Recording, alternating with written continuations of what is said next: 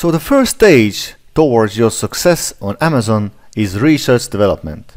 And this is where we're gonna find well-selling product that can earn profit and has huge demand, but then again has not so much competition on the market.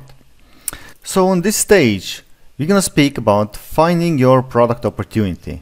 We want profitable opportunity that has good demand and low competition. Then we're gonna do the patent research because we don't want our product to have any patents. After that, we're gonna go to profitability research. We're gonna create product blueprint, which is your main product market research file.